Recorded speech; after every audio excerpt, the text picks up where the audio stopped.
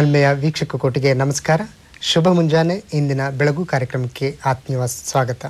ಪ್ರಿಯ ವೀಕ್ಷಕರೇ, ಸುಂದರ ಸೌಧಗಳು ಮುಗಿಲಿಗೆ ಮುತ್ತಿಕ್ಕುವಾಗ ಮುರುಕು ಜೋಪಡಿಯಲ್ಲಿ ಮಲಗಿದ್ದ ನನ್ನೊಳಗಿನ ಕವಿ ಹಸುವಿನಿಂದ ಮುಲುಕುತ್ತಿದ್ದ.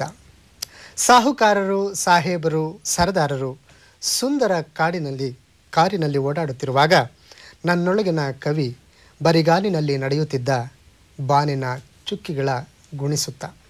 ಹೀಗೆ ಎದುರಿನ ವಿಚಿತ್ರ ವೈರುಧ್ಯಗಳಿಗೆ, ತರತಮ ಭಾವಗಳಿಗೆ, ಅಸಾಮಾನ್ಯ ವ್ಯವಸ್ಥೆಯ ಕುಹಗಳಿಗೆ, ಕುಹಕಗಳಿಗೆ ತಮ್ಮ ಕಾವ್ಯದ ಸಾಲುಗಳ ಮೂಲಕ ಚಾಟಿ ಏಟು ಬೀಸುತ್ತಾ.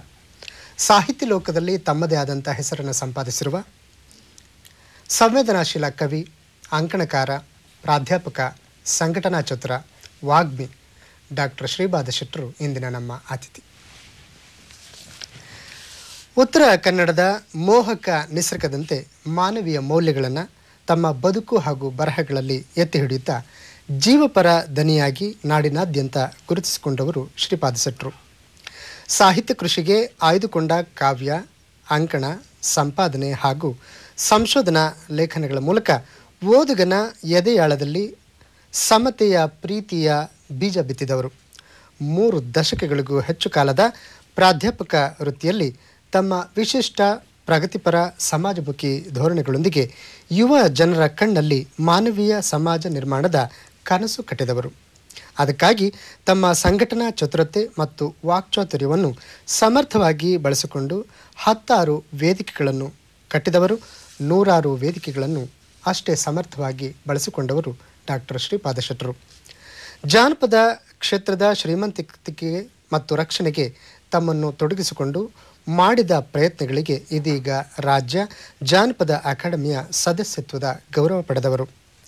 ಸಮಾಜದ ಓರೆ ಕೋರೆಗಳನ್ನು ಸರಿಪಡಿಸಲು ನಿಂತ ಬಂಡಾಯಗಾರರಾಗಿ, ಅನೂಚಾನವಾಗಿ ಬಂದ ಅನಿಷ್ಟಗಳ ವಿರುದ್ಧ ಗಟ್ಟಿ ದನಿಯಲ್ಲಿ ಖಂಡಿಸುವ ಚಿಂತನಕಾರರಾಗಿಯೂ ಕೂಡ ಶ್ರೀಯುತರು ಪ್ರಸಿದ್ಧರು.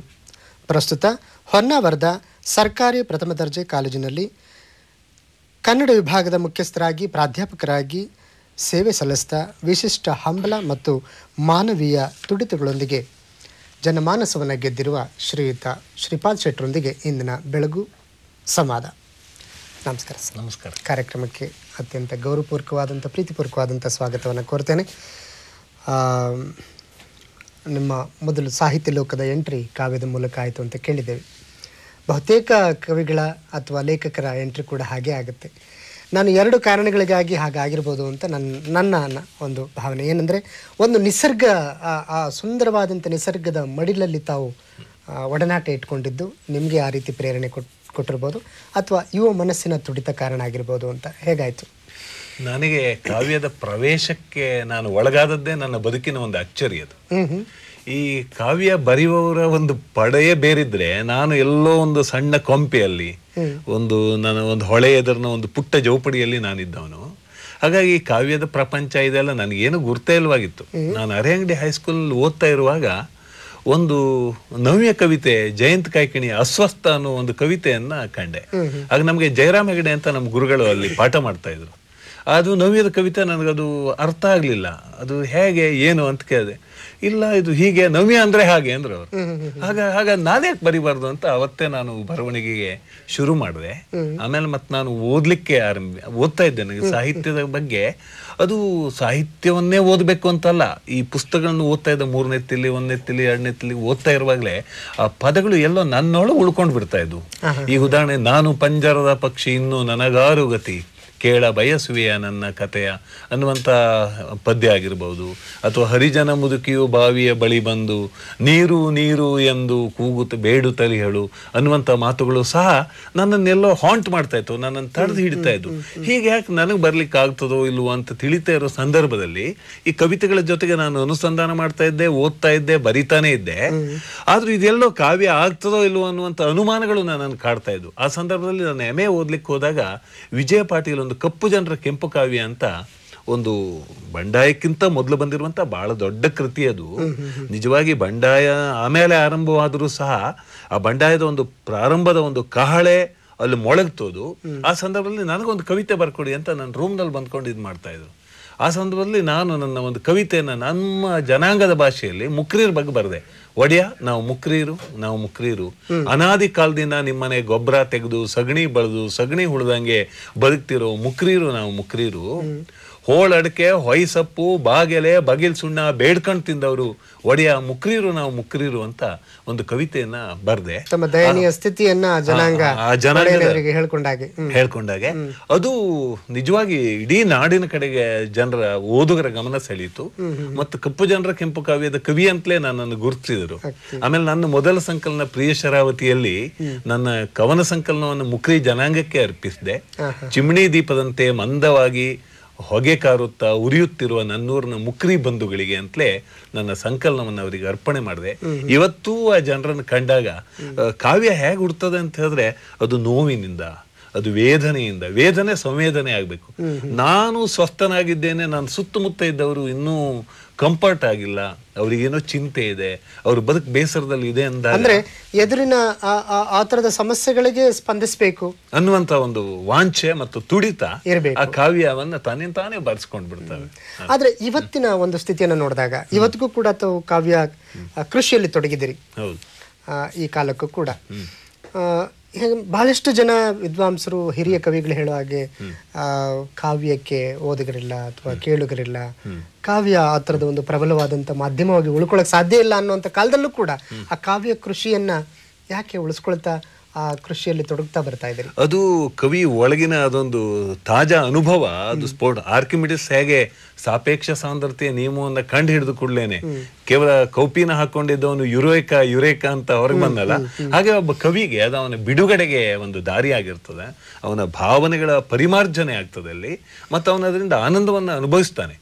ಇವತ್ತು ಕಾವ್ಯವನ್ನ ಬಹಳ ಜನ ಹಾಗೆ ರೀತಿಯಲ್ಲಿ ಬರಿತಾ ಇದ್ದಂತ ಎನ್ ಕೆ ಹನುಮಂತಯ್ಯ ಅಂತ ಒಬ್ಬ ನನ್ ನನ್ನ ಜೊತೆ ಕೆಲಸ ಮಾಡಿದಂತ ಒಬ್ಬ ಕವಿ ಅಲ್ಲಿ ಹೊನ್ನವರ್ಕ ಬೇಗ ಹೊರಟೋದ್ರು ಅದೇ ರೀತಿಯಲ್ಲಿ ವೀರಣ್ಣ ಮಡಿವಾಳ ಅದೇ ರೀತಿಯಲ್ಲಿ ನಿಜಲಿಂಗಪ್ಪ ಮಟ್ಟಿಹಾಳ್ ಅಂತ ಧಾರವಾಡದಲ್ಲಿ ಇದ್ದಾರೆ. ಇವರೆಲ್ಲ ಈ ಬದುಕನ್ನ ಅತ್ಯಂತ ಹತ್ತಿರವಾಗಿ ನೋಡಿಕೊಂಡು ವೇತನೆಯನ್ನ ಅನುಭವಿಸಿ ವೇದನೆಯನ್ನು ಅನುಭವಿಸಿ ಅದನ್ನ ಏನ್ ಮಾಡ್ತಾ ಇದ್ದಾರೆ ಅಂತಂದ್ರೆ ಕಾವ್ಯದಲ್ಲಿ ಮತ್ತೆ ಕಟ್ಟು ಕೊಡ್ತಾರೆ ಆ ಮೂಲಕವಾಗಿ ಒಂದು ರೀತಿ ಬಿಡುಗಡೆಯನ್ನು ಪಡ್ತಾರೆ. ಇನ್ನೊಂದು ಕವಿಗಳ ಪಂಗಡ ಇದೆ.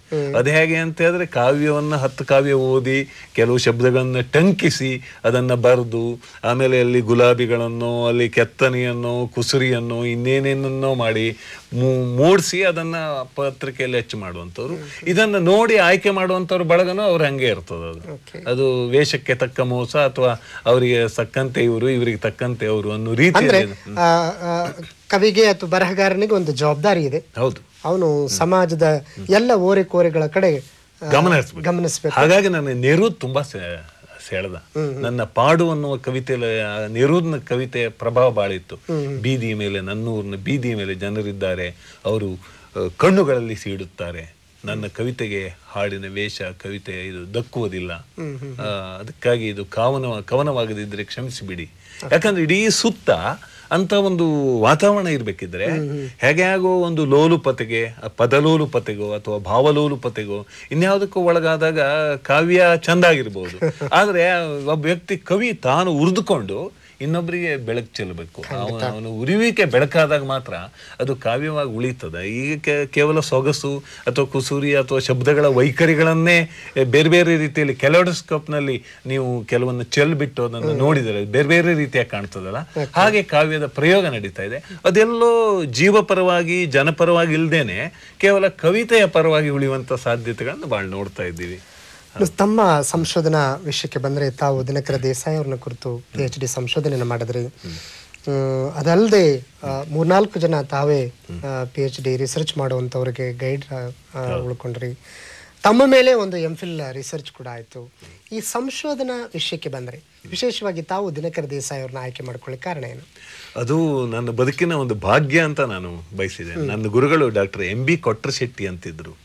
ಅವರು ಹೃದಯಾಘಾತದಿಂದ ತೀರೋದ್ರು ಬಟ್ ಅವರು ಹೇಳಿದ್ರು, ನೀನ್ ದಿನಕರ್ ದೇಸಾಯಿ ಅವರ ಸಂಸ್ಥೆಯಲ್ಲಿ ದುಡಿತಾ ಇದ್ಯಾ ಅವ್ರ ಮೇಲೆ ಮಾಡು ಅಂತ. ಅಲ್ಲಿವರೆಗೆ ಅಂಕೋಲಾ, ಗೋಖಲೆ, ಶತಮಾನೋತ್ಸವದ ಕಾಲೇಜಿನಲ್ಲಿ ಯಾರು ಪಿ ಎಚ್ ಡಿಯನ್ನು ಮಾಡಲಿಲ್ಲ. ಹಾಗೆ ಮಾಡ್ಬೇಕು ಅಂತ ಯಾರಾದರೂ ಹೋದ್ರೆ ಬೇರೆ ಬೇರೆ ಕೆಲಸಗಳಿವೆ, ಅದು ಮಾಡಿ ಇದು ಮಾಡಿ ಅಂತ ಹೇಳ್ತಾ ಇದ್ರು. ಆದ್ರೆ ನಾನು ದಿನಕರ್ ದೇಸಾಯಿ ಅವ್ರ ಮೇಲೆ ನನ್ನ ಹೆಸರನ್ನು ಪಿ ಎಚ್ ಡಿಗೆ ನೋಂದಾಯಿಸಿಕೊಂಡು ಆಮೇಲೆ ಪ್ರಾಚಾರ್ಯ ಬಳಿ ಬಂದ ಅವರು ಸಂಸ್ಥೆಯ ಚೇರ್ಮನ್ರು ಆದ್ರಿಂದ ನನಗೆ ಅದನ್ನ ಅವಕಾಶ ಕೊಟ್ಟರು ಆ ಮೂಲಕವಾಗಿ ನಾನು ದೇಸಾಯಿ ಅವರ ಹತ್ರ ಹೋದೆ. ಮತ್ತು ವ್ಯಕ್ತಿಯ ಪ್ರಭಾವಲಯದಲ್ಲಿ ನಾನು ಹೇಗೆ ಬೆಳೆದೆ ನನ್ನನ್ನು ಬೆಳೆಸ್ಕೊಂಡೆ ಆ ಒಂದು ಬರವಣಿಗೆ ನನ್ನನ್ನು ಬಹಳ ದೊಡ್ಡ ರೀತಿಯಲ್ಲಿ ನನ್ನನ್ನು ಬೆಳೆಸ್ತು. ಯಾಕಂದ್ರೆ ದೇಸಾಯಿ ಅದೊಂದು ಮಹಾಗಣ ಹತ್ತು ವ್ಯಕ್ತಿಗಳು ಜೀವಮಾನದಲ್ಲಿ ಬೇರೆ ಬೇರೆ ಕ್ಷೇತ್ರದಲ್ಲಿ ಮಾಡಿ ತೋರಿಸ್ಬೇಕಂತ ಕೆಲಸವನ್ನ ಒಬ್ಬನೇ ವ್ಯಕ್ತಿ ಹತ್ತು ಕ್ಷೇತ್ರದಲ್ಲಿ ಮಾಡಿ ತೋರಿಸಿದಂಥವ್ರು ದಿನಕರ್ ದೇಸಾಯಿ. ಯಾವುದೇ ಆತ್ಮ ಮೋಹಿತವಲ್ಲದಂತಹ ಒಂದು ವಾಂಛೆಯನ್ನು ಇಟ್ಟುಕೊಂಡು ಜನಪರವಾದ ಕೆಲಸ ಮಾಡಿದ್ರು ಎಲ್ಲವನ್ನ ಜನರಿಗಾಗೆ ಮಾಡಿದ್ರು. ಜನಸೇವಕ ಪತ್ರಿಕೆ ತಂದ್ರು ಜನತಾ ವಿದ್ಯಾಲಯಗಳನ್ನು ತಂದ್ರು ಅದೇ ಜನಮುದ್ರಣ ಅನ್ನೋದನ್ನು ತಂದ್ರು. ಅವರು ಒಂದ್ ಕಡೆಯಲ್ಲಿ ಅವ್ರ ಚುಟುಕ ಅವರ ಬಹಳ ದೊಡ್ಡ ಅಸ್ತ್ರ ಅದು. ಅವ್ರು ಹೇಳ್ತಾರೆ ನಾ ಬರದ ಚುಟುಕುಗಳ ಸಂಖ್ಯೆ ವಿಪರೀತ. ಶೇಕಡ ತೊಂಬತ್ತು ಹೊಡೆಯು ಗೋತ. ಉಳಿದ ಹತ್ತರ ಪೈಕಿ ಏಳೆಂಟು ಸತ್ತು ಒಂದೆರಡು ಬದುಕಿದರೆ ಅವು ಮಾತ್ರ ಮುತ್ತು ಅಂತ. ತಮ್ಮ ಚುಟುಕದಲ್ಲೇ ತಮ್ಮ ಬದುಕಿನ ಸಾಧನೆಗಳನ್ನ ಅವ್ರು ಹೇಳ್ಕೊತಾರೆ ಹದಿನೆಂಟು ಶಾಲೆ ಇವತ್ತದು ಮೂವತ್ತಾಗಿದೆ. ಹದಿನೆಂಟು ಶಾಲೆ ಕಾಲೇಜುಗಳ ಕಟ್ಟಿ ಬಡಿಸಿದೆನು ಜೀವನದ ರೊಟ್ಟಿ. ಇಷ್ಟಾದರೂ ತೃಪ್ತಿ ಇಲ್ಲವೋ ಕರುಣ ಸಿಂಧು ನಾನು ಮಾಡಿದ್ದು ಒಂದೇ ಒಂದು ಬಿಂದು ಅಂತ. ಈ ರೀತಿಯ ಅರ್ಪಣಾ ಮನೋಭಾವ ಇದೆಯಲ್ಲ ಅದು ಶಾಲೆಗಳು ಇಲ್ಲದೆ ಹೋದಂತ ಹಳ್ಳಿಗಳಲ್ಲಿ ಆ ಕಾಲದಲ್ಲಿ ಮಾಧ್ಯಮಿಕ ಶಾಲೆಗಳು ಆ ಶಾಲೆಗೆ ಎಂಥ ಶಿಸ್ತು? ಅಲ್ಲಿ ಅಲ್ಲಿ ಔದ್ಯೋಗಿಕತೆಯ ಬಗ್ಗೆ ಅವರು ಕೊಡುವಂಥ ಒತ್ತು ಆಮೇಲೆ ಸ್ವಾವಲಂಬಿಗಳಾಗಿ ವಿದ್ಯಾರ್ಥಿಗಳು ಸಿದ್ಧ ಆಗಬೇಕು ಅಂತ ಅವರು ಮಾಡಿರುವಂತ ಪೀಪಲ್ಸ್ ಮಲ್ಟಿ ಪರ್ಪಸ್ ಹೈಸ್ಕೂಲ್ ಅಂದ್ರೆ ನನಗನ್ಸೋದು ಕೇವಲ ಅಲ್ಲಿ ಅವರ ಶಾಲೆನಲ್ಲಿ ಕೆಲಸ ಮಾಡ್ತಿದ್ದೀನಿ ಅನ್ನುವಂತ ಕೃತಜ್ಞತಾ ಭಾವನೆ ಅಲ್ಲದೆ ಅಲ್ಲದೆ. ಇಂಥ ಒಂದು ದೊಡ್ಡ ವ್ಯಕ್ತಿತ್ವವನ್ನ ಸಮಾಜಕ್ಕೆ ಬೇರೆ ಬೇರೆ ರೀತಿಯಲ್ಲಿ ಕಟ್ಟಿಕೊಡ್ಬೇಕು ಅನ್ನುವಂಥದ್ದು ಸಂಶೋಧನೆ ಆಮೇಲೆ ರೈತ ನಾಯಕರಾಗಿ ಅವ್ರು ಎಂತ ಕೆಲಸ ಮಾಡಿದ್ರು ಅಂದ್ರೆ ದೇವರಾಜ ಅರಸು ಉಳುವನೆ ಒಡೆಯ ಕಾನೂನನ್ನು ಜಾರಿಗೆ ತಂದ್ರು ಮತ್ತೆ ಎಷ್ಟೋ ಜನ ರೈತರಿಗೆ ಇವತ್ತು ನಾನೊಂದು ಕಾಲೇಜಿನ ಅಧ್ಯಾಪಕನಾಗಿ ಬರ್ಲಿಕ್ಕೆ ಕಾರಣ ಇದ್ರೆ ಅದು ದೇವರಾಜ ಅರಸರ ಕೃಪೆ ಅಂತ ನಾನು ತಿಳ್ಕೊಂಡು. ಯಾಕಂದ್ರೆ ಉಳುವನೆ ಯಾಕಂದ್ರೆ ನಾವು ಜಮೀನಲ್ಲಿ ಅರ್ಧ ಪಾಲನ್ನ ನಮ್ಮ ಒಡೆಯಂದಿರಿಗೆ ಕೊಡ್ಬೇಕಿತ್ತು. ಯಾರೋ ಅತಿಥಿಗಳು ನಿಮ್ಮಂಥವ್ರು ಯಾರೋ ಸ್ನೇಹಿತರು ಬಂದ್ರು ಅಂತ ಮರ ಹತ್ತಿ ಒಂದೆರಡು ತೆಂಗಿನಕಾಯಿ ಸಿಂಹಾಳ ಎಳ್ನೀರು ಕಡ್ಕೊಟ್ರೆ ಅದು ತಿರ್ಪು ಅಂತ ಮಾಡಿ ಅದು ಎರಡು ಕೊಟ್ಟದಕ್ಕೆ ದಂಡವಾಗಿ ಮತ್ತು ನಾಲ್ಕು ಕಾಯೋ, ಎಂಟು ಕಾಯೋನೋ ಅವ್ರು ತಗೊಂಡು ಹೋಗ್ಬಿಡ್ತೀವಿ ಇಂಥ ಒಂದು ಇದರಲ್ಲಿದ್ದಾಗ ದೇಸಾಯಿ ಹೇಳಿದ್ರು, ನಮದೇ ಇದ್ದ ಭೂಮಿ, ನಮಗೆ ಆಗಲಿ ಸ್ವಾಮಿ ಅದಕ್ಕೆ ರೈತರು ಕೂಟವ ಕಟ್ಟುವುದು ಅಂತ ಹೇಳಿದ್ರು. ನಮ್ಮ ಭೂಮಿ ದುಡಿಯೋರು ಯಾರೋ ತಿನ್ನೋರು ಯಾರೋ ಅನ್ನೋದನ್ನು ಹೋಗ್ಲಾಡ್ಸ್ ಅದಕ್ಕೆ ಅವರು ರೈತ ಸಭೆಯಿಂದ ಲೋಕಸಭೆಗೆ ದಾಪುಗಾಲು ಹಾಕಿದ್ರು.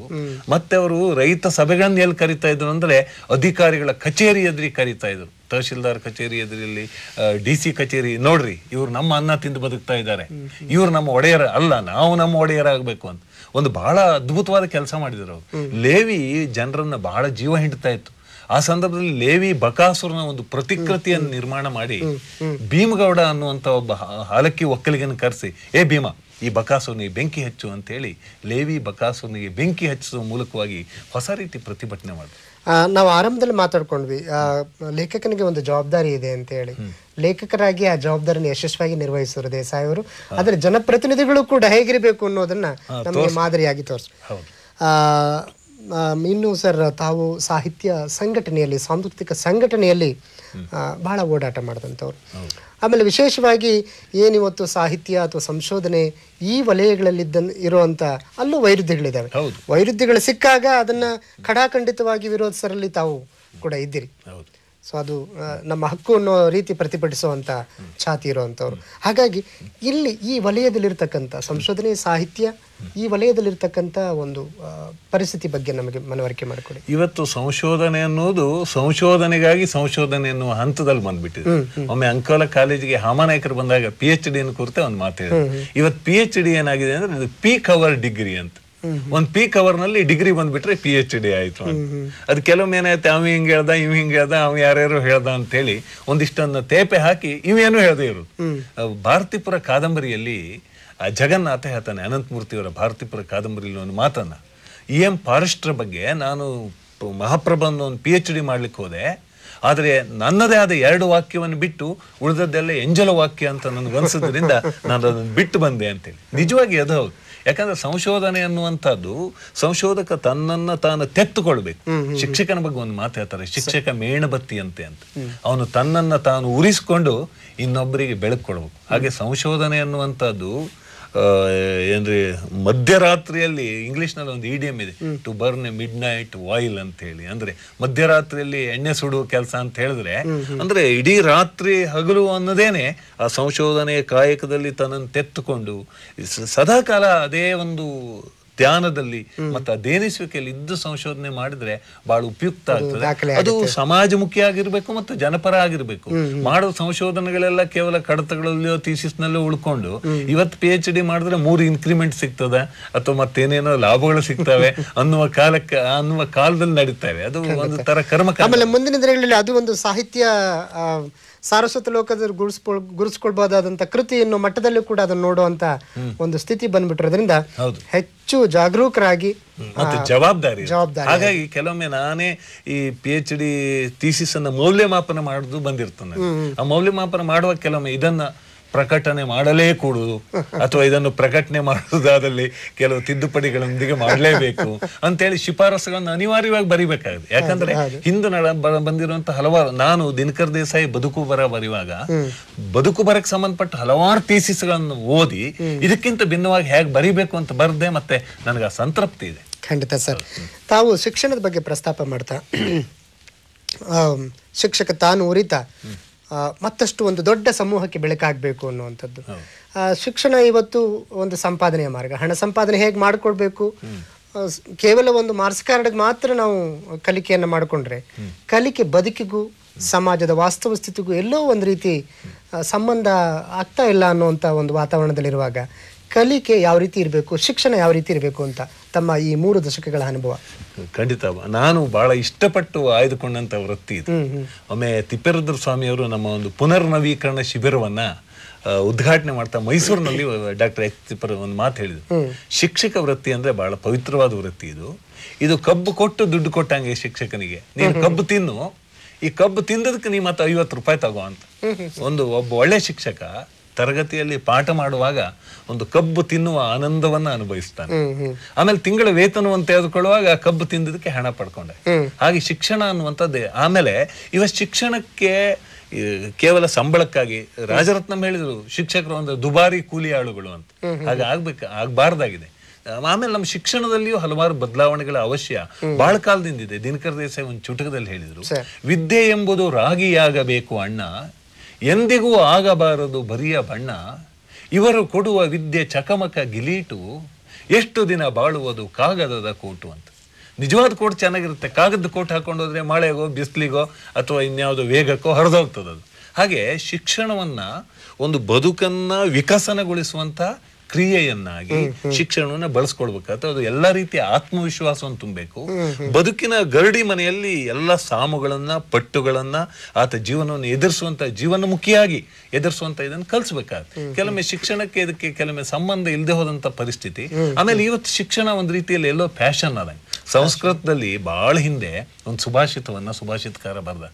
ವಿದ್ಯಾ ವಿವಾದಾಯ ಧನಂ ಅಧಾಯ ಶಕ್ತಿ ಪರೇಶಾಂ ಪರಪೀಡನಾಯ ಸಾಧೋ ವಿಪರೀತ ವಿಪರೀತಮೇತ ಜ್ಞಾನಾಯ ದಾನಾಯ ಚ ರಕ್ಷಣಾಯ. ಇವತ್ತು ವಿದ್ಯೆಯನ್ನು ನಾವು ವಿವಾದಕ್ಕಾಗಿ ಬಳಸ್ಕೊಳ್ತಾ ಇದ್ವಿ. ಸ್ವಲ್ಪ ಕಲ್ತ ಅಂತ ಹೇಳಿದ್ರೆ ಅವನು ಹೇಳೋದು ತಪ್ಪು. ಅವನನ್ನು ತಪ್ಪನ್ನ ಖಂಡಿಸಿ ತಾನನ್ನು ಪ್ರತಿ ಧನಂ ಮದಾಯ ಹಣ ಇದೆ ಅಂದ್ರೆ ಅದನ್ನೊಂದು ಮಧವನ್ನು ಪ್ರತಿಷ್ಠಾಪಿಸ್ಲಿಕ್ಕಾಗಿ. ಅಪ್ಪನ ದುಡ್ಡು ಕೊಟ್ಟಿದ್ದಾನೆ ಅಂದ್ರೆ ಮಗ ಕಾಲೇಜಿಗೆ ಬರ್ಬೇಕಿದ್ರೆ ಹೀರೋ ಹೊಂಡ ಹೊಡ್ಕೊಂಡು ಬಂದು ಅದ್ರಲ್ಲಿ ಜೊತೆಗೆ ಅದು ಎಕ್ಸ್ಲೇಟರ್ ಜೋರ್ ಬಿಟ್ಕೊಂಡು ಗೋ ಅಂತ ಬರ್ತಿರ್ತಾನೆ. ಯಾಕಂದ್ರೆ ನಾನು ಬಂದೆ ಅಂತ ಬಾಕಿಯವರಿಗೆಲ್ಲ ಗೊತ್ತಾಗಲಿ. ಹಾಗೆ ಶಕ್ತಿ ಧನವನ್ನ ಮದಕ್ಕಾಗಿ ಬಳಸಬಾರ್ದು. ಶಕ್ತಿ ಪರೇಶಾಂ ಪರ. ಶಕ್ತಿ ಇದೆ ಅಂದ್ರೆ ಏನ್ರಿ? ಹೇಗಿದ್ದೀರಿ ಅಂತ ಒಬ್ಬನಿಗೆ ಗುದ್ದು ಮಾತಾಡಿಸೋದು. ಅದಲ್ಲ. ಅದನ್ನ ಸಾಧುಗಳು ವಿಪರೀತವಾಗಿ. ವಿದ್ಯೆಯನ್ನು ಜ್ಞಾನಾಯ, ಹಣವನ್ನು ದಾನಾಯ ಹಾಗೆ ಶಕ್ತಿಯನ್ನ ಇನ್ನೊಬ್ಬರ ರಕ್ಷಣೆ, ಜ್ಞಾನಾಯ, ದಾನಾಯ ಚ ರಕ್ಷಣಾಯ.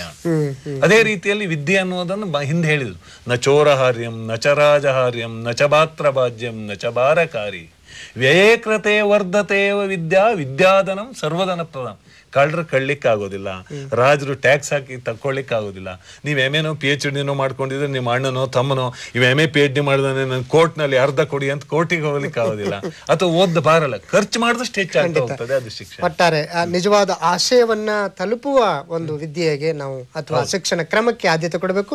ಯಾಕೆಂದ್ರೆ ಸಮಕಾಲೀನ ಜಗತ್ತು ಸವಾಲುಗಳನ್ನು ಒಡ್ತಾ ಇದೆ. ಈ ಸಂದರ್ಭದಲ್ಲಿ ಒಂದು ಮಾತು ನಾನು ಶಿಕ್ಷಕನಾಗಿ ನಾನು ವಿಜ್ಞಾನದ ಒಂದು ಪ್ರಯೋಗವನ್ನ ಓದ್ತಿದ್ದೆ. ನಿರ್ವಾತ ಪ್ರದೇಶದಲ್ಲಿ ಧ್ವನಿ ಸಂಚಾರ ಸಂಚಾರ ಆಗುದಿಲ್ಲ ಅಂತ. ಅಲ್ಲಿ ವಾಯುರೇಚಕ ಪಂಪನಿಂದ ತೆಗೆದ್ರೆ ಧ್ವನಿನೇ ಆಗುದಿಲ್ಲ ಅದೇ ರೀತಿಯಲ್ಲಿ ಕೆಲವೊಮ್ಮೆ ತರಗತಿಯ ಕೋಣೆಗಳಲ್ಲೂ ಹೀಗೆ ಆಗದೆ ಹೋದಂತ ಸಂದರ್ಭಗಳು ಇವತ್ತು ಯಾವ್ಯಾವುದೋ ಕಡೆಗೆ ಮಕ್ಕಳ ದಿಕ್ಕನ್ನು ಬದಲಾಯಿಸ್ತಾ ಇವೆ. ಮಹಾಭಾರತದಲ್ಲಿ ಕರ್ ಧನುರ್ವಿದ್ಯಾ ಪ್ರದರ್ಶನದಲ್ಲಿ ಕೇಳ್ತಾರೆ ಗುರುಗಳು ಹಕ್ಕಿಯ ಕಣ್ಣಿಗೆ ಇದು ಹೊಡಿಬೇಕು. ನಿಮ್ಗೆ ಏನೇನ್ ಕಾಣ್ತದ ಒಬ್ಬ ನನಗೆ ಮರ ಕಾಣ್ತದ ನೀವೆಲ್ಲ ಕಾಣ್ತೀರಿ ಅಂತಾನೆ. ಇನ್ನೊಬ್ಬ ಟೊಂಗೆ ಮಾತ್ರ ಕಾಣ್ತಾ ಅಂತಾನೆ. ಇನ್ನೊಬ್ಬ ಹಕ್ಕಿಯ ಕೊರಳು ಮಾತ್ರ ಕಾಣ್ತಾನೆ. ಅರ್ಜುನ ಹೇಳ್ತಾನೆ ಹಕ್ಕಿಯ ಕಣ್ಣು ಮಾತ್ರ ಕಾಣ್ತದೆ. ಹಾಗೆ ಹೇಳ್ತಾರೆ ನೀನು ಹೊಡೆ ಅದಕ್ಕೆ ಬಾಣವನ್ನು. ಹಾಗೆ ನಮ್ಮ ಏಕಾಗ್ರತೆ ಗುರಿ ತಪ್ಪದೊಮ್ಮುಖದ ಬಯಕೆ ಬೆಂಬಲಕ್ಕಿರ್ಲಿ ಅನ್ನುವ ಕವಿ ವಾಣಿಯಂತೆ ಏಕಾಗ್ರತೆ ಎಲ್ಲೆಲ್ಲೋ ಚೂರಾಗಿ ಹೋಗ್ತಾ ಇದೆ. ಅದು ಮನೆಯಲ್ಲಿ ಕೂತ್ಕೊಂಡಿರುವಂತ ಈ ಮಾಧ್ಯಮದ ಪೆಟ್ಟಿಗಳು ಏನೇನ್ ತೋರಿಸ್ತಾವೆ ಅಂತ ಹೇಳಿದ್ರೆ ಈ ದೇಶದಲ್ಲಿ ಬಾಂಬ್ ಬಿದ್ದದಕ್ಕಿಂತ ಕೆಲವೊಮ್ಮೆ ಈ ಇದು ಬಿದ್ದು ಬಿಡ್ತಲ್ಲ ಈ ನಮ್ಮ ನಮೂನಿ ಮಾಧ್ಯಮಗಳು ನಮ್ಮವ್ರು ಯಾರು ಚೇತರಿಸ್ಕೊಳ್ಳೋ ಸ್ಥಿತಿಗೆ ಬಂದ್ಬಿಟ್ಟು ಹಾಗಾಗಿ. ಸರಿ ಮಾತುಕತೆ ಮುಂದುವರ್ಸೋಣ ಒಂದು ಸಣ್ಣ ಬ್ರೇಕ್ ಇರುತ್ತೆ. ಪ್ರಿಯ ವೀಕ್ಷಕರೇ ಈಗ ಒಂದು ಅಲ್ಪ ವಿರಾಮ.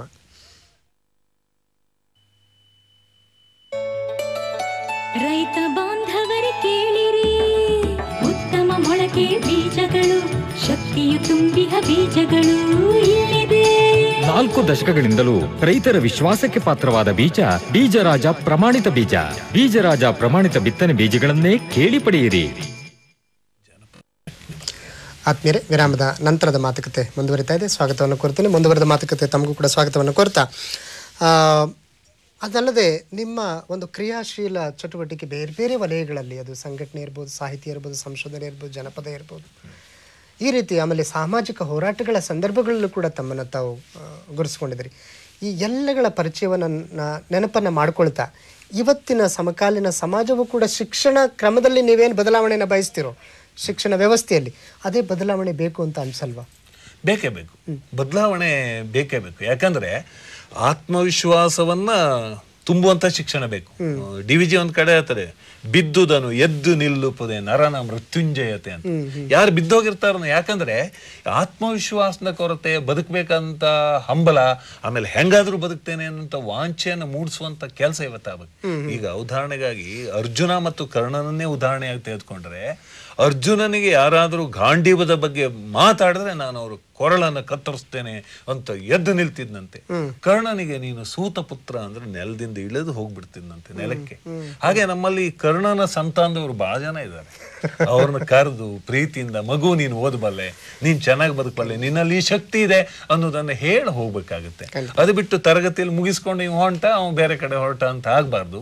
ಅಂತರಂಗದ ಒಳಗೆ ಪ್ರವೇಶ ಮಾಡುವಂತ ಕೆಲಸ ಆದ್ರೆ ಚೆನ್ನಾಗಿ ಅಳುತ್ತದೆ ನಮ್ ಸೂಪಿ ಬ್ಯಾರಿ ಅಂತಿದ್ರು ಹಿಂದೆ. ಅವರು ತೆಂಗಿನ ಮರನೋ ಯಾವ್ದೋ ಮರ ಫಲ ಬರ್ದೆ ಹೋದ್ರೆ ಹೋಗಿ ಅದನ್ನು ಮುಟ್ಟಿ ಮಾತಾಡ್ಸೋದನ್ನು ಅಳಿಸ್ತದೆ ತೀರೋ ಕಂಬಾರ ಕುಲಪತಿಗಳಾಗಿದ್ದಾಗ ಕನ್ನಡ ವಿಶ್ವವಿದ್ಯಾಲಯಕ್ಕೆ ಕರೆಸಿದ್ರು. ಅವ್ನು ಕಂಡು ಮಾತಾಡಿದ್ದೆ ಮರಗಳನ್ನೇ ಮಾತಾಡಿಸಿ ಅದು ಹೂ ಬಿಡುವಂತೆ ಫಲ ಬಿಡುವಂತೆ ಹಾಗೆ ಮನುಷ್ಯರನ್ನು ಮಾಡ್ಬೋದಲ್ಲ.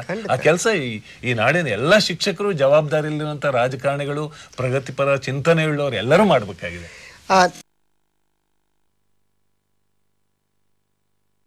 ಕಾಲಕ್ಕೆ. ಒಂದು ದೊಡ್ಡ ಆಶೆ ಇತ್ತು. ಈ ಸಮಾಜ ಬದಲಾಗಬೇಕು. ಜಾತಿ ವ್ಯವಸ್ಥೆ ಬದಲಾಗಬೇಕು ಆರ್ಥಿಕ ಸಾಮಾಜಿಕ ಅಸಮಾನತೆಗಳು ಬದಲಾಗಬೇಕು ಅನ್ನುವಂಥದ್ದು. ಆ, ಥರದ ಆಶಯಗಳಿಗೆ ಏನಾದರೂ ಒಂದು ಒಂದು ಸಣ್ಣ ನಿಜವಾದಂಥ ಉತ್ತರ ಸಿಕ್ಕಿದೆಯೇ? ಸರಿದಾರಿಯತ್ತ ಸರಿ ದಾರಿಯತ್ತ ನಾವು ಹೋಗ್ತಿದೀವಿ ಎಲ್ಲೆಲ್ಲೋ ಒಂದೊಂದು ಕಡೆ ಸಿಕ್ಕಿರ್ತವೆ. ಎಲ್ಲೋ ಜನರು ಪಾಪ ಬಡವರು ಕಷ್ಟಪಟ್ಟವರು ನೀವು ಹಿಂಗೆ ಮಾತಾಡಿದಿರಿ ನಮಗೆ ಭಾಳ ಖುಷಿ ಆಗದೆ ನೀವು ಹೇಳಿದ್ರೆ ನಾವು ಹಿಂಗೆ ಬದಲಾಗಿದ್ದೀವಿ ನಿಮ್ಮ ಮಾತು ನಮಗೆ ಮೂಡದೆ. ಆದ್ರೆ ಈಗ ಏನಾಗಿದೆ ಅಂದ್ರೆ ಲಂಕೇಶ್ ನಮ್ಮ ಕಪ್ಪು ಜನರ ಕೆಂಪು ಕಾವ್ಯದ ಕೊನೆಯಲ್ಲಿ ಒಂದು ಕವಿತೆ ಬರಬಾರದು. ಗೆಳೆಯರೇ ನಿಮ್ಮ ಕವನಗಳು ತಲುಪಿವೆ. ಕವನವಿರಲಿ ಕತ್ತಿ ಕೂಡ ತಲುಪದ ಸ್ಥಿತಿ ನಮ್ಮದು. ನೀರು ತನ್ನ ಗುಣವನ್ನು ಕಳೆದುಕೊಂಡು ಗಾಳಿ ತನ್ನ ಗುಣವನ್ನು ಕಳೆದುಕೊಂಡು ನಾವು ಸುಳ್ಳುಗಳ ದಲಿತೋದ್ಧರ ಮಾಡಿ ಕಾವ್ಯದ ಹೆಣ್ಣಿನ ತೊಡೆ ಮೇಲೆ ಮುಖವಿಟ್ಟು ಬಿಕ್ಕಿ ಬಿಕ್ಕಿ ಅಳುವುದನ್ನು ಬಯಸಿರಲಿಲ್ಲ ಅಂತ. ಇವತ್ತೇನಾಗ್ಬಿಟ್ಟಿದೆ ಅಂತಂದ್ರೆ ಎಪ್ಪತ್ತರ ದಶಕ ಒಂದು ಚಳುವಳಿಯ ದಶಕ. ಆಗ ಎಲ್ಲ ನಾವೆಲ್ಲರೂ ತೊಡಕೊಂಡಿದ್ವಿ. ಯಾವ್ಯಾವ್ದೋ ಸಂದರ್ಭದಲ್ಲಿ ಅನ್ಯಾಯ ಆದರೆ ಜೈಲು ಬರೋ ಹೋಗ್ಲಿಕ್ಕೂ ನಾವು ತಯಾರಾಗಿ ಈಗೆಲ್ಲ ಆರಾಧಕತೆಯಲ್ಲಿ ಮುಚ್ಚೋಗ್ಬಿಟ್ಟಿವೆ. ಪ್ರತಿಯೊಂದು ವಿಜೃಂಭಣೆ ವೈಭವೋಪೇತವಾದಿದು. ಈ ಧ್ವನಿನೇ ಕೇಳೋದು ಮತ್ತೆ ಈ ಹೀಗಿದ್ದ ಕೆಲವು ಜನರು ಏನಾಗಿದ್ದಾರೆ ಅಂದ್ರೆ ಒಬ್ಬ ವಚನಕಾರ ಹೇಳ್ತಾನೆ ಲಾಭಕ್ಕೆ ಲೋಭಿಸಿ ಆಶೆಗೆ ಜೋತು ಬಿದ್ದು ರಾಜದ್ವಾರದಲ್ಲಿ ಅತ್ತತ್ತ ಸುಳಿವರಲ್ಲದೆ ಇತ್ತ ಸುಳಿಯಲಾರರಯ್ಯ ಅನ್ನುವ ವಚನಕಾರನ ಮಾತಿನಂತೆ ಲಾಭಕ್ಕೆ ಲೋಭಿಸುವ ಜನರ ಸಂಖ್ಯೆ ಹೆಚ್ಚಾಗಿದೆ. ಆಶೆಗೆ ಜೋತು ಬಿದ್ದು ರಾಜದ್ವಾರದಲ್ಲಿ ನೀವು ಹಂಗಿದ್ದೀರಿ ಹಿಂಗಿದ್ದೀರಿ ನೀವು ಇಂದ್ರ ಚಂದ್ರ ದದೀಚಿ ನೀವು ಇವರು ಅಂತೆಲ್ಲ ಹೊಗಳಿ ತಮ್ಮ ಬೇಳೆ ಬೇಯಿಸ್ಕೊಳ್ಳುವರು ಇದು ಇದು ಸತ್ಯ ಇದು ತಪ್ಪಾಗ್ತಾ ಇದೆ ಅಂತ ಕಿವಿ ಹಿಂಡುವಂತೆ ಮಾತನಾಡುವಂತವರ ಸಂಖ್ಯೆ ಕಡಿಮೆ ಆಗಿದೆ. ಅದೇ ಲಂಕೇಶ ಕೆಲಸ ಮಾಡಿದ್ರು ತೇಜಸ್ವಿ ಮಾಡಿದ್ರು. ಬಟ್ ಈಗ ಈ ಹತ್ತರ ಸಂಗಡ ಗೋವಿಂದ ಪರ್ಸೆ ಸಂಗಡ ಹತ್ತರ ಸಂಗಡ ಹನ್ನೊಂದು ಪರ್ಸೆ ಸಂಗಡ ಗೋವಿಂದ ಅಂತ ನಮ್ಮದೊಂದು ಮಾತಿದೆ. ಎಲ್ಲರೂ ಗೋವಿಂದ ಗೋವಿಂದ ಅನ್ನುವಾಗ ಗಂಡನ ಹೆಸರು ಗೋವಿಂದ ಅಂತಿತ್ತಂತೆ. ಪಾಪ ಅವಳಿಗೆ ಗೋವಿಂದ ಅಂತ ಹೇಳಿ ಇಂದಿರಾ ರಮಣ ಗೋವಿಂದ ಅಂದ್ರೆ ನಂದು ಹಾಗೆಯ? ರಮಾರಮಣ ಗೋವಿಂದ ನಂದು ಹಾಗೆ. ತಿರುಪತಿ ತಿಮ್ಮಪ್ಪನ ಪಾದಕ್ಕೆ ಗೋವಿಂದ ನಂದು ಹಾಗೆ ಅಂತ. ಈಗ ನಂದು ಹಾಗೆ ಅನ್ನುವಂಥವ್ರ ಸಂಖ್ಯೆ ಹೆಚ್ಚಾಗಿದೆ. ಅಂದ್ರೆ ಆ, ಎಪ್ಪತ್ತರ ದಶಕ ಕಟ್ಟಿಕೊಟ್ಟಂತ ಚಳುವಳಿಗಳ ಅಥವಾ ಸಾಹಿತ್ಯದ ನಿಜವಾದದ ಆಶಯ ಇವತ್ತಿಗೂ ಕೂಡ ಹಾಗೆ ಇದೆ. ಅದನ್ನ ಮತ್ತೆ ನಾವು.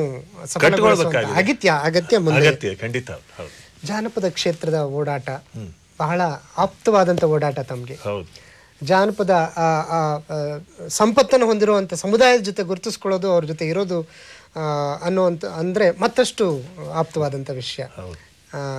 ಏನಾದರೂ ಅಲ್ಲಿ ಮತ್ತೆ ಇದನ್ನು ಒಂದಷ್ಟು ಶ್ರೀಮಂತಗೊಳಿಸಲಿಕ್ಕೆ ಇವತ್ತಿನ ಬೇರೆ ಬೇರೆ ಸಂಸ್ಕೃತಿಗಳ ಒತ್ತಡದಿಂದ ಅವುಗಳನ್ನು ಪಾರು ಮಾಡುವ ಒಂದು ಪ್ರಯತ್ನ ಏನಾದರೂ ಆಗ್ಬೇಕಾಗಿದೆ ಆಗ್ಬೇಕಾದ ತೀರಾ ಅವಶ್ಯ ಇದೆ. ಯಾಕಂದ್ರೆ ಇದೇನಾಗಿದೆ ಅಂದ್ರೆ ನಾವು ಪ್ರಾಜೆಕ್ಟ್ ಅಂತ ತಕ್ಕೊಂಡು ಕೆಲಸ ಮಾಡಿ ಪ್ರಾಜೆಕ್ಟ್ ಅನ್ನು ಒಪ್ಸಿ ಯು ಜಿ ಸಿ ಇಂದ ಹಣ ತಕೊಂಡು ಅಲ್ಲಿಗೆ ಮುಗಿಸಿ ನಾವು ಸಂತೃಪ್ತರಾಗುವುದಷ್ಟೇ ಅಲ್ಲ. ಅಥವಾ ಕಲಾವಿದರ ಹಾಡು ಕೇಳಿ ಈಗ ತಗೊಂಡು ನೂರು ರೂಪಾಯಿ ನೀ ಅಂತ ಅಂತೇಳಿ ಇವನು ಮಿಂಚುದಲ್ಲ. ಊರನ್ನ ಮತ್ತೆ ಎತ್ ಕಟ್ಟುವಂತ ಒಂದು ಕೆಲಸನೂ ಸಹ ಆಗ್ಬೇಕಾಗಿದೆ. ಜಾನಪದ ಅನ್ನೋದು ಆ ಜನರ ಒಳಗಿದೆ. ಒಂದು ಮಾತನ್ನ ಚಾರ್ಲಸ್ ಫ್ರಾನ್ಸಿಸ್ ಪೋರ್ಟರ್ ಅನ್ನುವಂತ ಮೇಧಾವಿ ಹೇಳ್ತಾನೆ folklore is a lively fossil which refuses to die ಅಂತ. ಜಾನಪದ ಅನ್ನೋ ಸಜೀವ ಪಳವಳಿಕೆ ಸಾಯುವುದೇ ಇಲ್ಲ ನೋಡಿ, ಒಂದು ಹಾಡಿದೆ, ಅದು ಎಷ್ಟು ಅರ್ಥ ಕೊಡ್ತಾ. ಬಡವರು ಸತ್ತರೆ ಸುಡುವುದಕ್ಕೆ ಸೌದಿಲ್ಲೆ. ಒಡಲ ಕಿಚ್ಚಿನಲ್ಲಿ ಹೆಣಬೆಂದು. ಒಡಲ ಕಿಚ್ಚಿನಲ್ಲಿ ಹೆಣಬೆಂದು, ದೇವಾರೆ, ಬಡವರಿಗೆ ಸಾವ ಕೊಡಬೇಡ. ಸಾವಿನಲ್ಲಿಯೂ ಸಹ ಬಡತನ ಬಂದು ಹಣಕಿಕ್ಕುವಂತ ಒಂದು ದುರ್ಧರವಾದಂತಹ ಪರಿಸ್ಥಿತಿಯನ್ನು ಅನುಭವಿಸಿದಂತವರು ಬಡವರಿಗೆ ಸಾವೇ ಕೊಡಬೇಡ ಅಂತ ಕೇಳ್ಕೊಳ್ತಾರಲ್ಲ. ಯಾಕಂದ್ರೆ ಶ್ರೀಮಂತರು ಸತ್ತರೆ ಕರ್ಪೂರವನ್ನು ಶ್ರೀಗಂಧವನ್ನು ಬೇಕಾದ್ದಲ್ಲ. ಆದ್ರೆ ಬಡವ ಸತ್ರೆ ಕಟ್ಟಿಗೆಗೂ ಗೊತ್ತಿಲ್ಲ. ಅದನ್ನ ಸಾವೇ ಬೇಡ. ಅನ್ನುವ ಸ್ಥಿತಿಯನ್ನ ಅವರು ಸೃಷ್ಟಿ ಮಾಡ್ಕೊಂಡಿದ್ದನ್ನ ನಾವು ಇದರಲ್ಲಿ ನೋಡ್ತಾ ಇದ್ದೀವಿ. ಇಂಥ ಜನಪದರಲ್ಲಿ ಬಹಳ ಅಪಾರವಾದಂತ ಒಂದು ಗಣಿ ಇದೆ ಅದು. ಗಣಿ ಅಂದ ಕೂಡಲೇ ಬೇರೆ. ಈ ವ್ಯಕ್ತಿತ್ವದ ಒಳಗೆ ಗಣಿ ಇದೆಯಲ್ಲ? ಅದೆಂದು ಖಾಲಿ ಆಗುದಿಲ್ಲ. ಅದನ್ನು ಬೆಳೆಸುವಂತದ್ದು ಅದನ್ನು ಮತ್ತೆ ಹುಡುಕಿ ಅದನ್ನು ಮತ್ತೆ ಕಟ್ಟುವ ಮತ್ತೆ ಬದುಕಿಗೆ ಅದನ್ನು ಪೂರಕವಾಗಿ ಏನ್ ಮಾಡ್ಲಿಕ್ಕೆ ಸಾಧ್ಯ ಐತೆ? ಯಾಕೆಂದ್ರೆ ಬಹಳ ಧೀಮಂತ ಜಾನಪದ ತಜ್ಞರು ಕರೀಂ ಖಾನ್ ಜೊತೆ ಕೂಡ ಓಡಾಡ ಓಡಾಡಿದ್ರು. ಏನ್ ಮಾಡ್ಲಿಕ್ಕೆ ಸಾಧ್ಯ ಆಯ್ತು ನಿಮ್ಮ ಆ ಓಡಾಟದಲ್ಲಿ? ಕರೀಂ ಖಾನ್ರು ಬಹಳ ದೊಡ್ಡ ವ್ಯಕ್ತಿ. ಅವ್ರು ಏನು ಅಂತ ಒಂದು ಕೆಲಸ ಮಾಡಿದ್ರು ಅವ್ರ ಅಧ್ಯಕ್ಷರ ಸಂದರ್ಭದಲ್ಲಿ ಎಲ್ಲ ಬುಡಕಟ್ಟುಗಳ ಹಾಡಿಗಳಿಗೆ ಹೋಗಿ ಅದನ್ನೆಲ್ಲ ವಿಡಿಯೋ ಚಿತ್ರೀಕರಣ ಮಾಡಿ ಮತ್ತೆ ಅವರು ನಡೆದು ಹೋಗ್ಲಿಕ್ಕೆ ಆಗುದಿಲ್ಲ ಆಯ್ತು ಕರೀಂ ಖಾನ್ರಿಗೆ. ನಮ್ಮ ಮನೆಯಲ್ಲೆಲ್ಲ ಬಂದು ಉಳ್ಕೊಂಡಿದ್ದಾರೆ. ಆ ಮಹಾಚೇತನ ಅವ್ರು ಮಾತಾಡ್ತಾ ಇದ್ರೆ ಅದೊಂದು ಭೋರ್ಘರೆವ ವಾರಿದಿ ಅಂತೆ ಅದು ಆ ಮಾತಿನ ವೇಗ ಓಗ ರೀತಿ ಅದೇ ರೀತಿ ಅವರಿಗೆ ಆ ಜನರ ಬಗ್ಗೆ ಇರುವಂತಹ ಹೃದಯಾಂತರ್ಗತವಾದಂತ ಕಳಕಳಿ ಇತ್ತಲ್ಲ ನಿಜವಾದ ಯೋಧ ಅವರು ಕರೀಂ ಖಾನ್. ಅವ್ರು ಸ್ವಾತಂತ್ರ್ಯ ಯೋಧರಷ್ಟೇ ಅಲ್ಲ ಈ ಜಾನಪದರ ಬದುಕನ್ನ ಎತ್ತು ನಿಲ್ಲಿಸುವಂತ ಒಂದು ಪ್ರಯತ್ನವನ್ನು ಮಾಡಿದ್ರು. ಆ ಕೆಲಸ ಮತ್ತು ಒಳ್ಳೆ ರೀತಿಯಲ್ಲಿ ಆಗ್ಬೇಕಾದ್ರೆ ಬಹಳ ದೊಡ್ಡ ಕ್ಷೇತ್ರ ಅದು. ಈ ಆ ಸಂದರ್ಭ ಅದಕ್ಕಾಗಿ ಜಾನಪದ ವಿಶ್ವವಿದ್ಯಾಲಯನೂ ಆಗ್ಬೇಕಾಗಿದೆ. ಯಾಕಂದ್ರೆ ಈ ಜಾನಪದ ವಿಶ್ವವಿದ್ಯಾಲಯ ಆದ್ರೆ ಎಲ್ಲ ಶಿಸ್ತುಗಳನ್ನ ಮತ್ತೆ ಬೆಳೆಸುವಂತ ಮತ್ತೆ ಅದಕ್ಕೊಂದು ಹೆಚ್ಚು ಒತ್ತು ಕೊಡುವಂತ ಮತ್ತೆ ಎಲ್ಲ ಅವರೇ ಕಲಾವಿದರೇ ಅಧ್ಯಾಪಕರಾಗುವಂತ ಅವರೇ ಅಲ್ಲ ದೊಡ್ಡ ವ್ಯಕ್ತಿಗಳಾಗಿ ಇದು ಯಾಕಂದ್ರೆ ಅಲ್ಲಿ ಒಂದು ಜ್ಞಾನದ ಮಹಾದೊಡ್ಡ ಕಣಜ ಇದೆ. ಅಂತವ್ರನ್ನ ಆತರ ಬಳಸುವಂತ ಒಂದು ಕೆಲಸ ಆಗುವ ದಿಶೆಯಲ್ಲಿ ಪ್ರಯತ್ನ ಆಗ್ಬೇಕಾಗಿದೆ. ಯಾಕೆಂದ್ರೆ ತಾವು ಅಕಾಡೆಮಿಯ ಸದಸ್ಯರಾಗಿ ಕೂಡ ಇದ್ದೀರಿ. ಬಹುಶಃ ಆ ಥರದ ಒಂದು ಅಗತ್ಯ ಇದೆ ಅಂತಲೂ ಕೂಡ ಹೇಳ್ತಾ ಇದ್ದೀರಿ. ಹೇಗೆ ಇವೆರಡರ ನಡುವೆ ನಾವು ಏನಾದರೂ ಗಮನಿಸ್ಬೋದಾ? ಅಂತ ತಾವೇ ಹೇಳಿದಾಗೆ ಇವತ್ತು ಜಾನಪದ ಆ ಥರದ ಜಾನಪದ ನಿಜವಾದ ಸಂಪತ್ತನ್ನು ಉಳಿಸ್ಕೊಂಡಿರುವಂಥ ಸಮುದಾಯಗಳು. ತಾವು ಹೇಳಿದಾಗೆ ಸುಡೋದಕ್ಕೆ ಸೌದಿನೂ ಇಲ್ಲದೆ ಇರೋ ರೀತಿ ಬದುಕಿನ ಬಹಳ ಘೋರ ದುರಂತವನ್ನು ಎದುರಿಸ್ತಕ್ಕಂಥ ಸ್ಥಿತಿಯಲ್ಲಿದ್ದಾರೆ. ಮತ್ತೆ ಅವ್ರನ್ನ ನಗರ ಪ್ರದೇಶ ಕರ್ಕೊಂಬಂದು ಎಲ್ಲೋ ನಮ್ಮ ಪ್ರದರ್ಶನ ಕಲೆಯಾಗಿ ಬಳಸಿಕೊಂಡು ಮತ್ತೆ ಅವ್ರನ್ನ ವಂಚಿಸುವ ಈ ತರದ ಪ್ರಯತ್ನಗಳು ಪ್ರಯತ್ನಗಳ ಆಚೆಗೆ ಅವ್ರನ್ನೇನಾದ್ರೂ ಯಾಕೆಂದ್ರೆ ಕಲಾವಿದ ಉಳ್ಕೊಂಡ್ರೆ ಮಾತ್ರ ಕಲೆ ಉಳ್ಕೊಂಡು ಖಂಡಿತ ಒಳ್ಳೆ. ಕಾರಣ ಹೇಗೆ ಅದೇ ಬಾಲಕರಿಲ್ಲದ ಬಾಲಿದ್ಯಾತರ ಜನ್ಮ ಬಾಳೆಲೆಯ ಹಾಸ್ಯುಂಡು ಬೀಸಿ ಇವ್ರನ್ನ ಹಾಸುಂಡು ಬೀಸಿ ಒಗಿತಾ ಇರುವಂತ ಕೆಲಸ ಆಗಿದೆ. ಅದಲ್ಲ ಅವರಿಗೆ ಒಂದು ಶಕ್ತಿ ತುಂಬುವಂತ. ಅದು ಸಾವಕಾಶವಾಗಿ ಆಗ್ಬೇಕಾಗಿದೆ. ಇವತ್ ನಾನು ಓದ್ದೆ ಹೋದ್ರೆ ನಾನು ಶಾಲೆಗಳಿಗೆ ಹೋಗದೆ ನಾನು ಶಾಲೆಗೆ ಹೋಗದೆ ನನ್ನ ಚೂಳಿಲಿ ಹೊತ್ಕೊಂಡು ಹೋಗ್ತಿದ್ರು. ಯಾಕಂದ್ರೆ ಮನೆಗೆ ಅಷ್ಟು ಅಂಟ್ಕೊಂಡು ಅದೇನೋ ಒಂದು ಕಷ್ಟ ಅನ್ನೋ ರೀತಿಯಲ್ಲಿ ನನ್ನ ಹೊಳೆ ಅಂತ ನನ್ನ ಆತ್ಮಚರಿತ್ರೆ ಅದನ್ನೆಲ್ಲ ಬರ್ಕೊಳ್ತಾ ಇದ್ದೀನಿ. ಬಹಳ ಕಷ್ಟ. ಹಾಗೆ ಆ ಜನಗಳು ಬದುಕಿಗೆ ಮುಖಾಮುಖಿ ಆಗ್ಲಿಕ್ಕೆ ಅವಕಾಶಗಳೇ ಬರ್ತಾ ಇಲ್ಲ. ಇಂಥದ್ದೆಲ್ಲ ಬಂದ್ರೆ ಅವರಲ್ಲಿ ನಿಂತ್ಕೊಂಡು ತಮ್ಮನ್ನು ತಾವು ಕಟ್ಟಿಕೊಳ್ಳುವ ಜವಾಬ್ದಾರಿಯನ್ನ ನಿರ್ವಹಿಸ್ಲಿಕ್ಕೆ ಒಬ್ಬ ವ್ಯಕ್ತಿಗೆ ಕೊಟ್ಟಾಗ ಮಾತ್ರ ಆತ ಅದನ್ನ ಚೆನ್ನಾಗಿ ಮಾಡಬಲ್ಲ. ಅವನಿಗೆ ಬರೋದಿಲ್ಲ ಅಂತ ಹೇಳಿ ನಾವು ಅವ್ರನ್ನ ದೂರ ಇಟ್ಬಿಟ್ರೆ ಅವ್ರು ದೂರನೇ ಉಳಿತಾರೆ. ಆ ಕೆಲಸವನ್ನು ಅವ್ರಿಗೆ ಕೊಡಬೇಕಾಗಿದೆ. ಅದ್ರ ಅವರ ಆತ್ಮವಿಶ್ವಾಸ ಬೆಳೀತದೆ. ಜವಾಬ್ದಾರಿಯನ್ನ ನಿಭಾಯಿಸುವ ಮೂಲಕವಾಗಿ ಅವರು ಮುಖ್ಯವಾಹಿನಿಗೆ ಬರ್ತಾ ಇದ್ದಾರೆ ಈ ಜಾಗತೀಕರಣದ ಏಳೂರಿನ ಸಂತೆಯೊಳಗೆ ಈ ದೇಶಿ ಅನ್ನುವಂಥದ್ದು ಅಥವಾ ಹಳ್ಳಿಗಾಡಿನಲ್ಲಿರುವಂತಹ ಜಾನಪದರು ಅನ್ನುವಂಥವ್ರು ಇವತ್ತಿಗೂ ಅವಜ್ಞೆಗೆ ಒಳಗಾಗ್ತಾ ಇದ್ದಾರೆ ಇವತ್ತು ನಮ್ಮಲ್ಲಿ ಜನಪದ ಕಲಾವಿದರನ್ನ ದೊಡ್ಡ ದೊಡ್ಡ ಉತ್ಸವಗಳಲ್ಲಿ ಏನೋ ಸರಕುಗಳನ್ನೇ ನೋಡ್ಕೋತಾ ಇದ್ದಾರೆ. ಫ್ಲೈಟ್ನಲ್ಲಿ ಬಂದಿರುವಂತಹ ದೊಡ್ಡ ದೊಡ್ಡ ಫೈವ್ ಸ್ಟಾರ್ ಕಲಾವಿದರಿಗೆ ಎಲ್ಲಾ ಇಡೀ ಆಡಳಿತ ವ್ಯವಸ್ಥೆ ಅವರ ಬಾಯ್ದುಂಬಲಕ್ಕೆ ಕೈ ಅನ್ನುವಂತೆ ನಿಂತಿರ್ತದೆ. ಬಟ್ ಇವರನ್ನ ನೋಡುವುದಿಲ್ಲ ಇದು ದೊಡ್ಡ ವಿಪರ್ಯ ಅದರಿಂದ ಅವರನ್ನ ಅವರಿಗೆ ಒಂದು ಮಣೆ ಕೊಡಬೇಕು ಮನ್ನಣೆ ಕೊಡಬೇಕು. ಖಂಡಿತ. ಆ ಪ್ರಯತ್ನಗಳು ನಿಮ್ಮಿಂದ ಸಾಕಷ್ಟು ಆಗ್ಬೇಕಾಗಿದೆ ಸರಿ. ಪ್ರಯತ್ನ ಮಾಡಬೇಕು. ಅವಕಾಶ ಸಿಗಲಿ ಅಂತ ಒಂದು ಕವನವನ್ನ ನಿಮ್ಮ ಇಷ್ಟವಾದಂಥ ಕವನವನ್ನ. ಬಹುಶಃ ಕವಿಗಳಿಗೆ ಕವನ ಓದಿಸ್ಲಿಲ್ಲ ಅಂತಂದ್ರೆ ಅದಕ್ಕಿಂತ ದೊಡ್ಡ ಅಪಚಾರ ಬೇರೆ ಆಗೋದಿಲ್ಲ. ಆ ಕಾರಣಕ್ಕೆ ಒಂದು ಈ ಕವಿತೆ ಬರೆದ್ರೇನೆ ಕೆಲವೊಮ್ಮೆ ಎಲ್ಲೋ ಹಾಳಾಗ್ಬಿಡ್ತೇನೋ ಬರೀದೆ ಅದನ್ನ ಹಂಗೆ ಬಿಡು ಚಲೋ ಅನ್ನೋ ರೀತಿಯೊಳಗೆ ಯಾಕಂದ್ರೆ ಆ ಹಂತದಲ್ಲಿ ಒಂದು ಬಿಡಿಸದಿರು ಅನ್ನೋದು ಬಿಡಿಸದಿರು ಚಿತ್ತಾರವನು ಈ ಚಂದದ ಕಾಗದದಲ್ಲಿ. ಅದು ಹಾಗೆ ಬೆಳಗುತ್ತಿರಲಿ ಮೈಯೆಲ್ಲ ಬರಿದಾಗಿ. ಕೊರೆಯದಿರು ಕೆರೆಯದಿರು ತರಿಯದಿರು ಅಂತರಂಗವ. ಎಲ್ಲವನು ತುಂಬಿ ಒಲವನ್ನೇ ನಂಬಿ ಅದು ಬೆಳದಿಂಗಳಾಗಲಿ. ಆ ಕಪ್ಪು ಮಸಿ ಮತ್ತೆ ಕತ್ತಲೆಯ ಕರೆಯದಿರಲಿ. ಅಲ್ಲಿರುವ ಬೆಳಕು ಹಾಗೆ ಪ್ರತಿಫಲಿಸುತ್ತಿರಲಿ. ಬೇಡ, ತಮವ ಕರೆವ, ಕರಿ ಬರೆಹ. ಇರಲಿ ಬೆಳಕಿನ ಬೀಜ. ಚುಚ್ಚದಿರು ಪೆನ್ನ ಮೊನೆಯಲ್ಲಿ ಕಕ್ಕದಿರು ತಮಂದವ. ನೀ ಬಿಡಿಸಿದರೆ ಮಾತ್ರ ಚಿತ್ತಾರ ಎಂಬ ಆತ್ಮಮೋಹ ಏಕೆ? ಕಾಲವೇ ಬಿಡಿಸಿದ ಚಿತ್ತಾರ ಅಂತಸ್ಥವಾಗಿಹುದು ಅಲ್ಲಿ. ತಾನೇ ತಾನಾಗಿ ಅರಳುತಿಯ ಚಿತ್ತಾರಕ್ಕೆ ನಿನ್ನ ಹೆಸರೇಕೆ? ಅನುದಿನವೂ ಆಗಸದಿ ಮೂಡುವ ಚಿತ್ರಕ್ಕೆ ಯಾರು ಶಿಲ್ಪಿ? ಅನುದಿನವೂ ಆಗಸದಿ ಮೂಡುವ ಚಿತ್ರಕ್ಕೆ ಯಾರು ಶಿಲ್ಪಿ? ಬೇಡ ಬಡಿವಾರ, ಎಲ್ಲವೂ ನಾನೆಂಬ ಕರೆ ಕರೆ ಅಹಂಕಾರ. ಇರುವುದೆಲ್ಲ ಅಂತಿರಲಿ. ಹಾಲಿಗೆ ಹಾಕದಿರು ಚಿಮಿಣಿ ಎಣ್ಣೆ. ಇರುವ ಪರಿಮಳವೇ ಸಾಕು. ಬೇಡ, ಮತ್ತು ಬರಿಸುವ ಅತ್ತರು. ಹುಟ್ಟು ಬಣ್ಣವೇ ಮೇಲೂ. ಬಹುಕಾಲ ಬಾಳದು ಕೊಟ್ಟ ಬಣ್ಣ. ಬೇಡ ಬಿಡಿಸದಿರು ಇಮ್ಮನದಿ ಚಿತ್ತಾರವನು ಈ ಅಂಧದ ಕಾಗದದಲ್ಲಿ. ಅದು ತಾನೇ ತಾನಾಗಿ ಬೆಳಗುತ್ತಿರಲಿ ಬರಿಮೈಯಲ್ಲಿ ಅದು ತಾನೇ ತಾನಾಗಿ ಬೆಳಗುತ್ತಿರಲಿ ಬರಿಮೈಯಲ್ಲಿ ಬಂಗಾರವಾಗಿ. ಖಂಡಿತ ಅದಕ್ಕಾಗಿ ಭಂಗ ಆಗಿರೋದು ಬೇಡ. ನಿಜವಾದ ಬಂಗಾರ ಆಗಬೇಕು ಬದುಕನ್ನು ಬೆಳಕಾಗಿಸ್ಕೊಳ್ಬೇಕು. ಸರ್ ನನಗೆ ಬಹಳ ಕುತೂಹಲ ಕೆರಳಿಸುವಂಥದ್ದು ಅಂತಂದ್ರೆ ಆ ಸ್ವಚ್ಛಂದವಾದಂಥ ಆ ನಿಸರ್ಗದ ಮಡಿಲು. ಪಾಪ ನಿಸರ್ಗ ನಮ್ಮನ್ನ ಯಾವ ರೀತಿ ಕೂಡ ನೀನ್ ಬೇರೆ ನೀನ್ ಬೇರೆ ಇದು ಬೇರೆ ಅದು ಬೇರೆ ಹಾಗಿದ್ದು ಕೂಡ ಅಂತ ವಾತಾವರಣದಲ್ಲಿ ಈ ತರದ ಒಂದು ಪ್ರತಿಭಟನೆಯ ಮಟ್ಟಿನ ನೆಲೆಗಟ್ಟಿನ ಸಾಹಿತ್ಯ ಬರಲಿಕ್ಕೆ ಸಾಧ್ಯ ಹೇಗಾಯ್ತು? ಯಾಕೆ ಈ ಈ ಒಂದು ಒಂದು ಸಮಾಜದ ಬಂಡಾಯದ ಒಂದು ಬಿಸಿ ತಮ್ಮ ಮನಸ್ಸಿನಲ್ಲಿ ಅದು ಒಂದು ಬೆಂಕಿ ಯಾಕಂದ್ರೆ ನಾನು ನೋವು ಅವಮಾನಗಳನ್ನ ಕ್ಷಣ ಕ್ಷಣದಲ್ಲಿ ಅನುಭವಿಸಿದ್ದೀನಿ. ನಾನಿಂತ ನನ್ನ ಜನಗಳು ಅನುಭವಿಸಿದ್ದಾರೆ ನನ್ನಿಂತ ಕೆಳಸ್ತರದಲ್ಲಿರುವಂತ ಜನರು ಅದರಲ್ಲಿ ಬೆಂದು ಬೆಂಗಾಡಾಗಿ ಹೋಗಿದ್ದಾರೆ.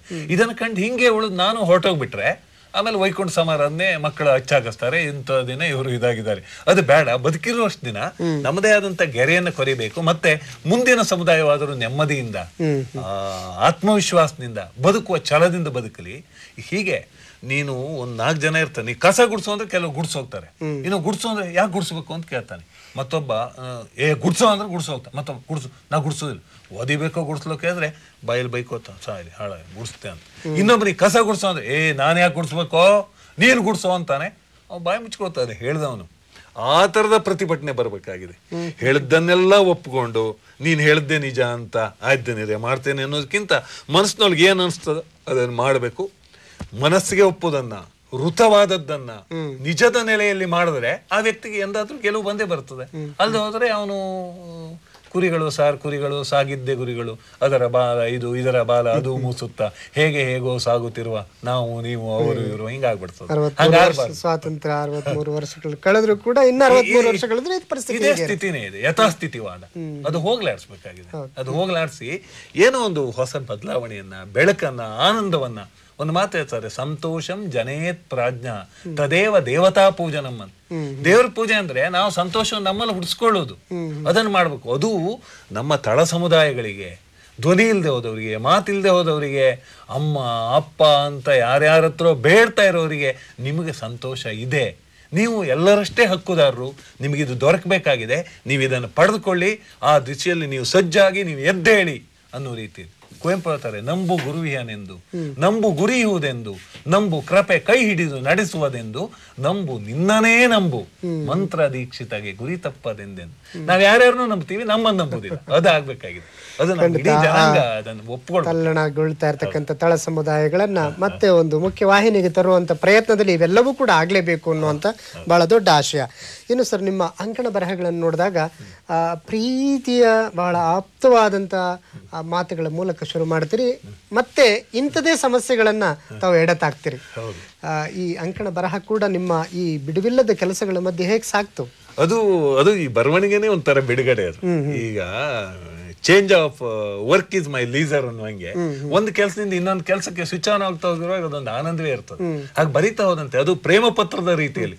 ಮಾನಿನಿ ಕಾಮಿನಿ ಮನೋಹರಿ ಅಂತೆಲ್ಲ ಬರೋದು ಅದ್ರ ಒಳಗೆ ಇಂಜೆಕ್ಷನ್ ಹಾಕಿದ್ವಿ ಯಾಕಂದ್ರೆ ಕೆಲವೊಮ್ಮೆ ಹಿಂಗ್ ಬರೆದ್ರೆ ಮಾತ್ರ ಕೆಲವರು ಮೆಚ್ಕೋತಾರೆ. ಈಗ ಕಹಿ ಗುಳಿಗೆ ಇಷ್ಟ ಆಗುದಿಲ್ಲ. ಶುಗರ್ ಕೋಟೆಡ್ ಪಿಲ್ಸ್ ಅಂತಾರಲ್ಲ. ಓ ಪ್ರೇಮ ಪತ್ರ ಅಂದ್ರೆ ಈ ಹದಿಹರದ ಹುಡುಗರೆಲ್ಲ ಓ ಏನೋ ಇದೆ ಅಂತೆಲ್ಲ ಹುಡುಗ ಈ ಪ್ರೇಮ ಕೆಲವೊಮ್ಮೆ ಯಾವ ಹಂತಕ್ಕೆ ಹೋಗಿದೆ ಅಂದ್ರೆ ಈ ಮೆಸೇಜ್ಗಳಲ್ಲಿ ಪದಲ್ಲಿ ಎಲ್ಲ ಕಡೆಯಲ್ಲೂ ಅದೇ ಆಗ್ಬಿಟ್ಟಿದೆ.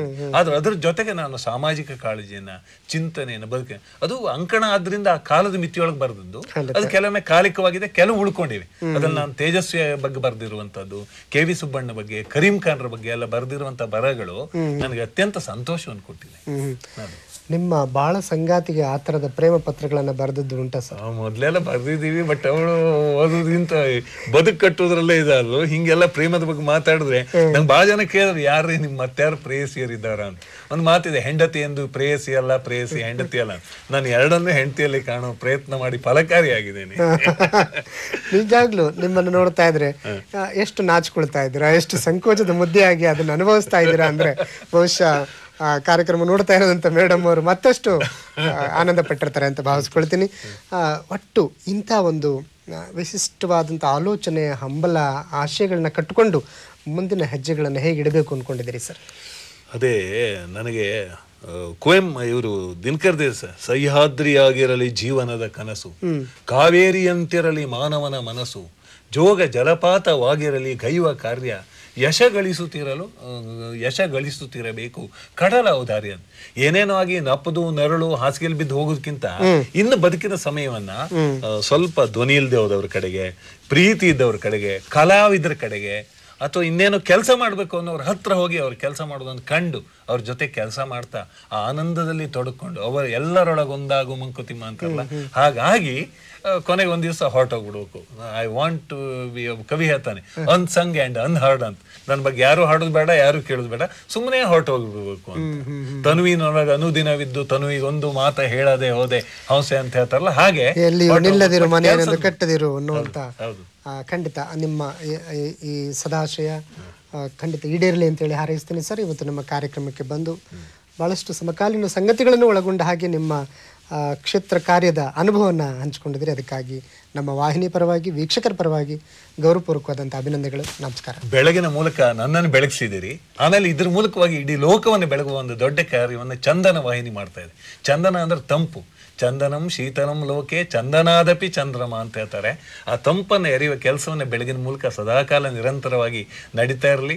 ನಿಮ್ಮಂಥವ್ರನ್ನ ಮತ್ತೆ ಮತ್ತೆ ನಾನು ಸಹ ಅಲ್ಲಿ ಈ ಅತಿಥಿಗಳನ್ನು ಅಲ್ಲಿ ಕೆಳಗೆ ಕುಂತು ನೋಡಿ ಆನಂದಿಸಲಿಕ್ಕೆ ಬಹಳ ಒಳ್ಳೆ ತಜ್ಞರ ಸಮೂಹ ಕಾರ್ಯ ಮಾಡ್ತಾ ಇದೆ. ಖುಷಿಯಾಗಿದೆ ನಾನು. ಧನ್ಯವಾದಗಳು ದೂರದರ್ಶನಕ್ಕೆ ನಿಮಗೆ ಎಲ್ಲರಿಗೂ ನೋಡಿದ್ರಿ ನೋಡುವಿರಿ ನನ್ನ ಹೃದಯ ತುಂಬಿದ ವಂದನೆಗಳು. ಧನ್ಯವಾದಗಳು ಸರ್. ಪ್ರಿಯ ವೀಕ್ಷಕರೇ ಇನ್ನು ಇಂದಿನ ದಿನಚರಿ ಬಗ್ಗೆ ಮಾಹಿತಿ ಪಡ್ಕೊಳ್ಳೋಣ. ತಳಿ ಸಂವರ್ಧನೆ ನೀತಿ ವಿಷಯ ಕುರಿತ ವಿಚಾರ ಸಂಕಿರಣ ಸ್ಥಳ ಕನ್ನಡ ಸಭಾಂಗಣ, ಪಶು ವೈದ್ಯಕೀಯ ಮಹಾವಿದ್ಯಾಲಯ ಹೆಬ್ಬಾಳ, ಬೆಂಗಳೂರು. ಸಮಯ ಬೆಳಿಗ್ಗೆ ಒಂಬತ್ತು ಗಂಟೆ ಮೂವತ್ತು ನಿಮಿಷಕ್ಕೆ. ನ್ಯೂಕ್ಲಿಯರ್ ಮೆಡಿಸಿನ್ ತಜ್ಞೆ ಡಾಕ್ಟರ್ ಆರ್ ಕೆ ಸರೋಜ ಅವರ ಅಭಿನಂದನಾ ಸಮಾರಂಭ. ಸ್ಥಳ the Bengaluru city institute, Chamarajpet, Bengaluru. ಸಮಯ ಬೆಳಿಗ್ಗೆ ಹನ್ನೊಂದು ಗಂಟೆ ಮೂವತ್ತು ನಿಮಿಷಕ್ಕೆ.